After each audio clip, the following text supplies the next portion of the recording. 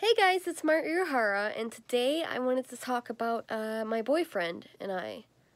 Um, so I was wondering if I should, like, talk to him more about, like, what's been going on, or if I should just let it slide because he's been in a really bad place and I've been in a really bad place.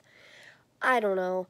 But I don't have anyone else to go to right now, so I am hoping that this will sort of like mitigate my feelings right now. I uh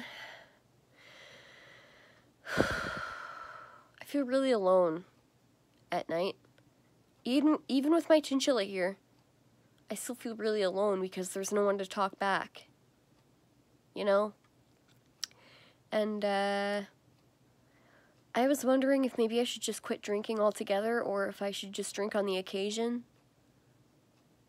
Like, I think that would be healthier for me anyway. But the problem is that my friends here, we like to party.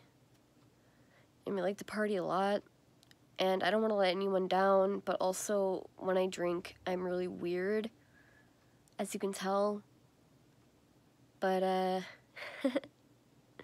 yeah, um, I just need to vent because honestly, me and my boyfriend have been going through this terrible phase of like fighting all the time and just calling each other names and saying, like, well, he said to me, Oh, you're so childish. Like, I'm not attracted to children, but you act like you're 13. So you either need to change or get the fuck out. And I'm like, I'm not changing for anyone.